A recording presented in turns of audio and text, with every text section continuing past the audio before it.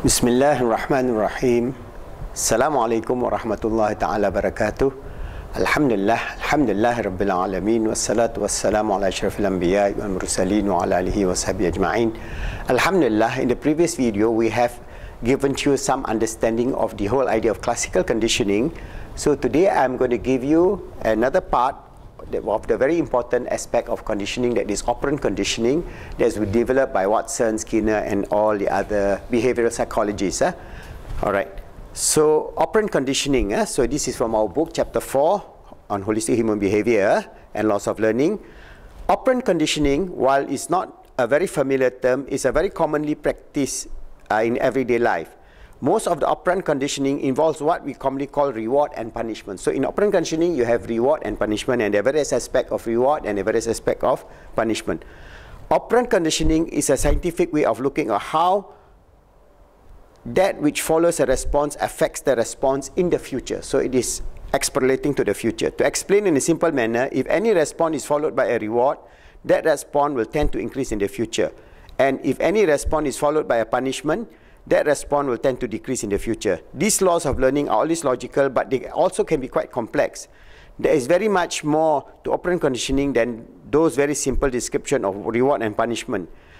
There's no aspect of our life not touched by these laws of learning. So none of aspect of our life is not affected by either classical conditioning or operant conditioning. All of us are being affected through the laws of learning. We must know these laws of learning to more perfectly manifest our great potential of free will. There is so much to know about these laws of learning. I almost don't know where to begin. This discussion will need more new terms defined and examples given of these laws of learning in practice. Luckily, since all knowledge is linked and all truth interconnected, all the varied aspects of operant conditioning will fall into place and allow a comprehensive, comprehensive understanding of the whole uh, law of learning beyond the scope of my explanation. Perhaps I could start by explaining how condi operant conditioning is different from classical conditioning. I could tell you how they are the same, but I will save it for later. The difference between classical conditioning and operant conditioning is in the order in which the stimulus and response occur. In classical conditioning, the controlling stimulus occur before the response. We say the stimulus elicit the response.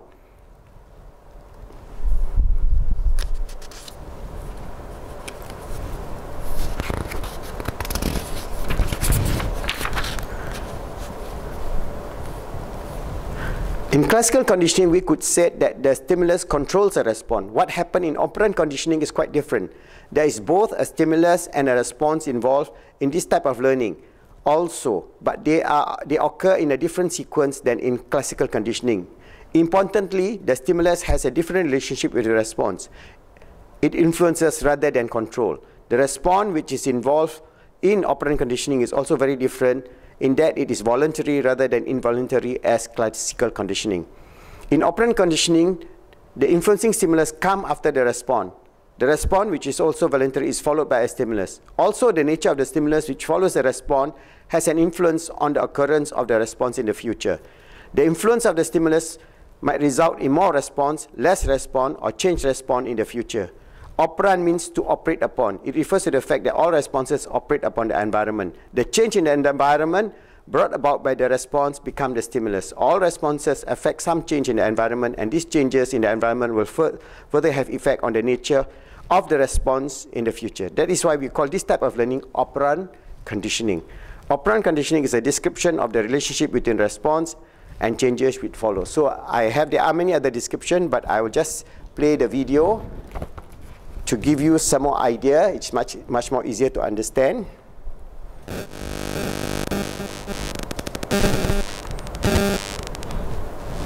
experiment, Watson conditioned a young child dubbed Little Albert to fear a white rat. Maybe that doesn't sound so bad, but he accomplished this by pairing the rat with a loud, scary noise over and over, and then could branch out and be generalized to include other furry white objects like bunnies, dogs, or even fur coats. So yeah, that would not fly today, obviously, but Watson's research did make other psychologists wonder whether adults too, were just holding tanks of conditioned emotions? And if so, whether new conditioning could be used to undo old conditioning.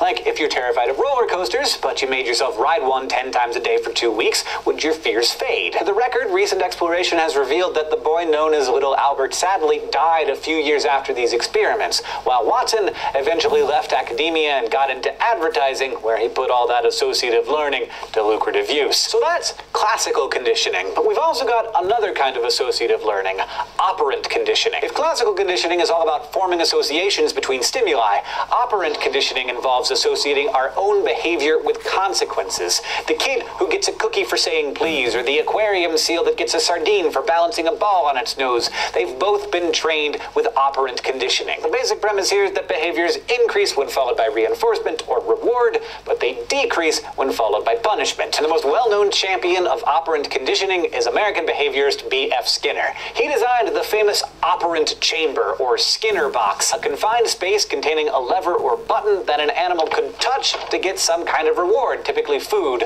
along with a device that keeps track of its responses. Okay, time for a debunking break. Other than maybe Freud, no other figure in psychology seems to be as shrouded in lore and misinformation as B.F. Skinner. So I'm just gonna tell you straight that no, Skinner never put any kids in the box. And no, he didn't raise his children without love or affection, and his daughter didn't hate his guts until the day she committed suicide. Deborah Skinner is alive and well, and she loved her dad plenty. Skinner did, however, invent something called an air crib, a climate controlled box with a window on the front that was meant to keep babies warm and safe while their moms ran around doing their 1950s lady thing. It's not exactly where I'd like to spend the night, but it wasn't remotely the same as the Skinner box. No one knows where all of these myths came from, but being a somewhat controversial guy, Skinner had a lot of haters, some of whom were probably happy to perpetuate misinformation. But back to the rat in the box. Basically, the box provided an observable stage to demonstrate Skinner's concept of reinforcement, which is anything that increases the behavior that it follows. In other words, you push the lever, you get a snack, and then you want to keep pushing the lever. But most rats aren't gonna push a lever for no reason. I mean, there aren't food dispensing levers in the natural environment, so operant conditioning behavior requires shaping. Maybe you give the rat a little nibble of food each time it gets closer to the bar, then only when it touches the bar until little by little, in a series of successive approximations to the desired behavior,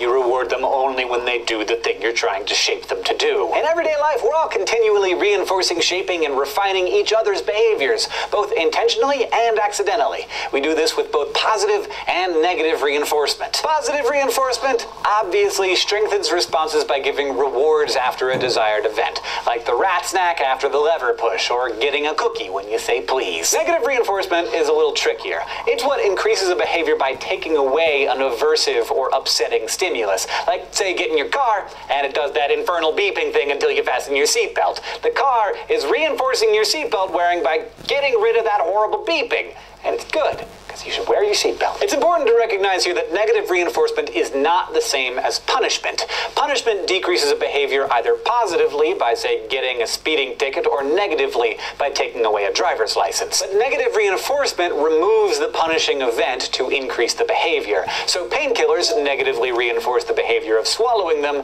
by ending the headache. So by now, hopefully you're getting the picture. There are things that we want and things that we don't want, and we can be taught by way of those impulses to behave certain ways ways, but it's worth pointing out that conditioning is way more complex than just the cookie in the beeping car. For one thing, ending annoyance or getting a cookie are types of primary reinforcers. You don't have to learn that. They just make innate biological sense. Beeping is annoying, cookies are delicious. But there are other kinds of reinforcers that we only recognize after we learn to associate them with primary reinforcers. Like a paycheck is a conditioned reinforcer. We want money because we need food and shelter, which are still the primary drivers. Plus, just as there are different kinds of reinforcers, so are there various reinforcement schedules. Like those boxed rats were getting continuous reinforcement when they got a treat every single time they hit the lever, so they picked it up pretty quickly. But if one day the rat chow doesn't come, that connection quickly dwindles and the rat stops hitting the lever. This is a process called extinction, and it is important because that's how real life works.